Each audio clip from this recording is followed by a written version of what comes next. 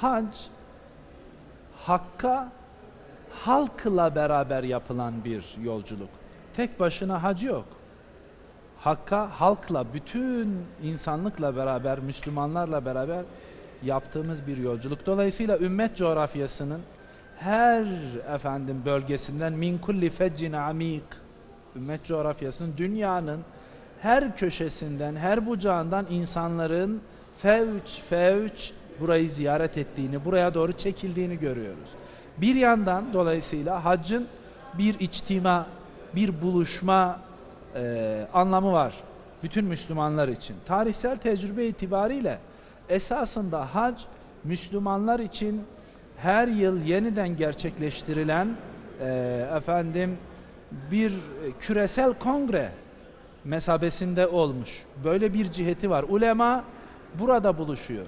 Yeni fikirler burada pişiriliyor. Mevcut fikirler İslam dünyasının ahvali hem entelektüel hem siyasi hem iktisadi manada burada ulema tarafından efendim İslam dünyasının önde gelen isimler tarafından müzakere ediliyor ve buradan alınanlar İslam dünyasının diğer bölgelerine dağılıyor. Bir tanışma, bilişme, kaynaşma, muhasebe mekanı ümmetin kardeşlik bağlarını pekiştirme, birbirine kem gözle değil rahmet nazarıyla bakma mekanı.